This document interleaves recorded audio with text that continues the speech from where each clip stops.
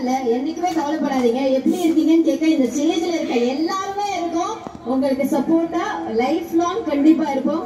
எல்லாரும் சொன்னாங்க அளவுக்கு இன்னொரு பேர் வந்து செல்ஃப் கான்பிடன்ஸ்னு அதை உங்ககிட்ட தான் கத்துக்கணும். உங்க எல்லார்கிட்டயும் பிடிச்ச இன்னொரு விஷயம் வந்து எந்த பிரச்சனையா இருந்தாலும் நீங்க எல்லாம் ஒற்றுமையா நிற்பீங்க. அது எங்களுக்குள்ளே கிடையாது. அந்த ஒற்றுமைக்காக